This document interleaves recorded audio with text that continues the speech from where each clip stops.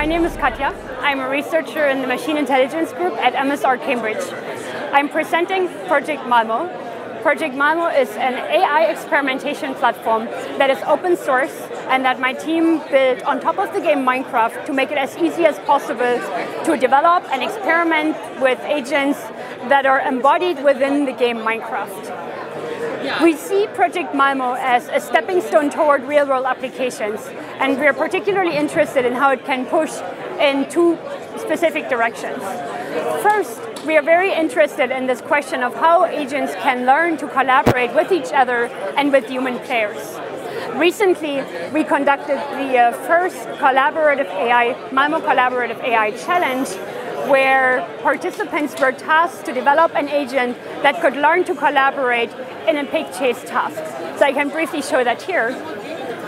In this task, um, we see two agents, the blue and the red agent, that are trying to catch a pig together. The pig is shown over here. We can see this either in this top-down view here or in this first-person view that you see over here. So I can look around and see my collaborator here, and if this collaborator is able to collaborate effectively, then I can go and catch the pig right here.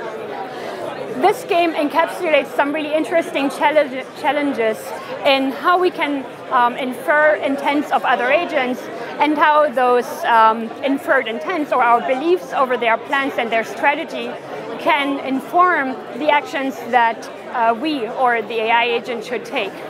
In the uh, challenge task, um, participants, um, graduate student teams participated from across the world. We had more than 80 teams participating.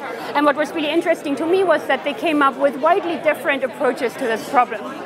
We are currently soliciting feedback. If you have any ideas on what kinds of tasks would be interesting to conduct um, within uh, the Malmo platform, we would be very interested to hear about that. Um, the uh, Malmo platform is very open-ended and supports a wide range of research and tasks. If you feel like trying it out, it's available on GitHub. Try it out today.